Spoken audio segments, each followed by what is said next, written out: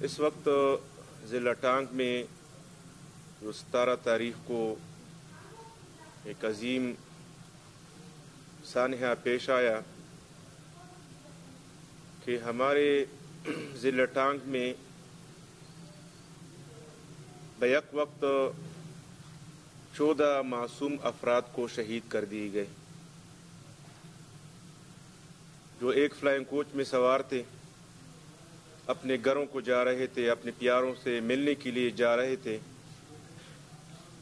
لیکن ظالم ڈاکو نے، تین چار افراد نے ان کوچ پر حملہ کر کے اس میں چودہ افراد کو شہید کر دیے۔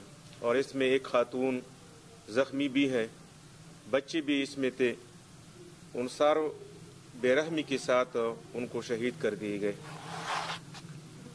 یہ اس بات کی دلیل ہے کہ اس وقت حکومت کا نام بھی نہیں ہے اور یہ اس بے حصی کی دلیل ہے کہ ابھی تک